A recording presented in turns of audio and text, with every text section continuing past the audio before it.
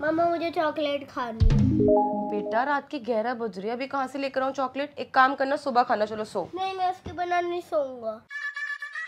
एक काम करते हैं। हाँ जी। पायल मम्मा की फ़्लाइट ना लैंड होने वाली है। तो आप एक काम करो पायल मम्मा को आवाज़ मारो और बोलो कि आपके लिए चॉकलेट लेकर आए। हाँ जी। चलो। देखो देखो मम्मा की फ़्लाइट आ गई आवाज़ मारो। मम्मा! मम्मा!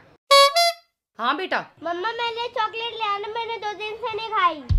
चीकू तू टेंशन मत ले मैं तेरे लिए बहुत सारी चॉकलेट ले आऊँगी। लव यू माँ। लव यू टू बेटा बाय